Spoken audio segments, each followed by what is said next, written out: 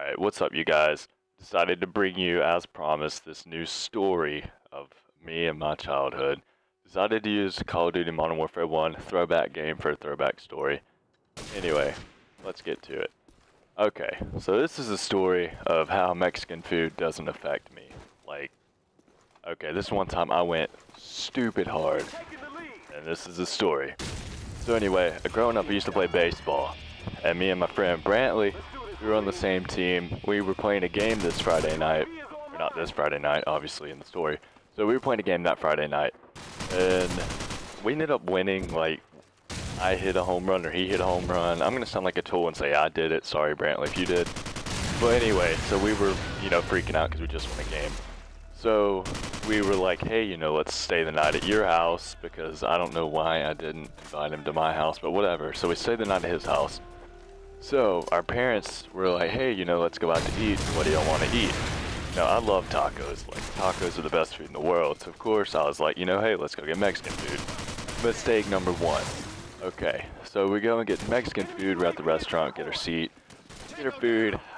I, over here, get, you know, 88 tacos or some. I just get stupid amount of food for, you know, me being like seven years old or eight. I don't know. It was just ridiculous. So anyway, I go hard. Like, I eat everything. Like, you would have been like, alright, seriously, where's this kid's food? Because I killed it. So anyway, we go, go back to his house. And on the way there, stomach starts, you know, blah, blah, blah, blah. I was like, oh god. You know, it's, it's about to go down. Something's about to happen. This is not good. So I'm over there, you know, trying not to cry because I think it's I kind of think it's funny, kind of don't. Because I don't know what's going to happen. Like, this is like Russian roulette over here. I don't know what's about to go down. So anyway, Brantley's dog, his name was Joel. His dog literally had the worst gas in the world.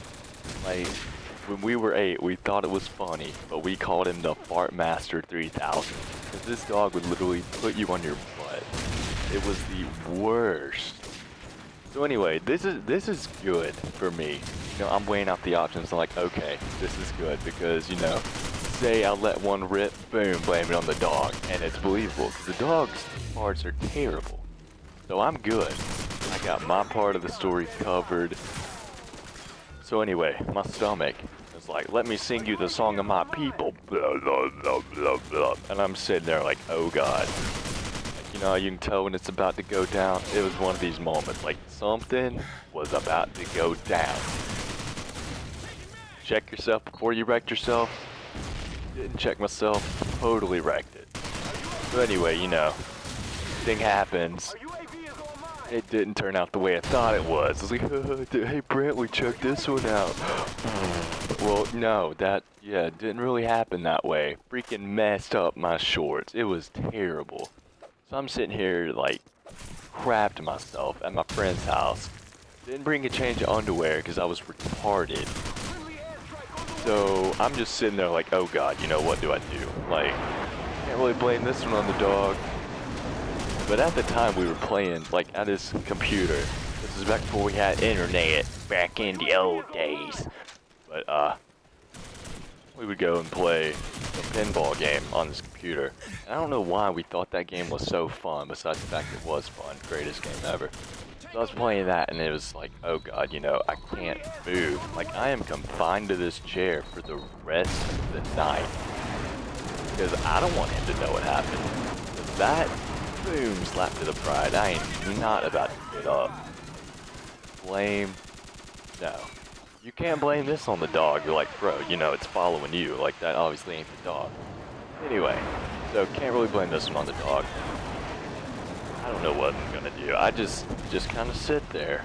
But if it wasn't for that ping pong, or not ping pong, if it wasn't for that pinball game, I don't know what I would have done. Because for the next, like, eight hours, boom, I was glued to that computer. Didn't go to the bathroom. I didn't drink water. I didn't eat. I didn't do anything. I was not about to let my friend know I just wrecked my shorts. Like, no, I can't do it. Like, we were bros. It takes a certain amount of bros to be like, hey bro, you know, I just, I just pooped everywhere. Like, I just totally wrecked Like, no, that ain't happening. I'm to let my pride take that hit. So I literally stay up all night playing that pinball game. I think it had like the top seven high scores because I was focused. Like I, I was not about to not sit there and just be like, you know, this is really bad. So anyway, the next morning comes up and his mom comes in and she's like, you know, what the heck? Because it smells like straight butt in that room. Because, you know, obviously, dun -dun -dun.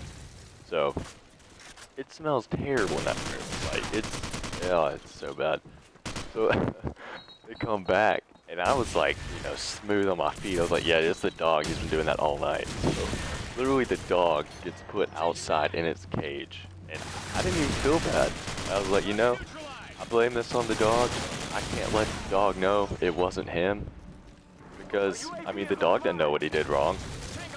I didn't do anything wrong, or at least no one knew I did anything wrong. So anyway, mom comes. The dog is like outside, like caged up, uh, can't come inside because his mom is so mad at the fact that his dog wrecked the house. So anyway, the dog's outside in the cage just chilling. You know, looking all sad because it's sitting there thinking, why am I in this cage? Matt's the one who pooped himself. So anyway, mom comes home. Somehow I make it out to the car and make it home. I'm just like, you know, miserable at this point. I'm just like, seriously, this is stupid. Anyway, get home, shower off, change shorts for the first time in like ever. And then that's the end of the story. And that's how Taco Bell doesn't affect me anymore.